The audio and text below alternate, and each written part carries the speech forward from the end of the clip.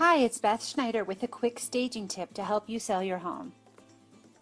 A great closet can really grab a buyer's attention. That's why staging is important. Start with clearing the floor. Shoes should be on racks or shelves. Remove any excess hangers you have taking up space. You want at least 20 to 30% of the closet to be open space. If you're going for a luxury feel, use wooden or velvet hangers instead of plastic ones. Don't forget to keep the upper shelves clean and neat. Finally, organize based on type of clothing and even color if possible. These tips will leave your closets primed for the real estate market.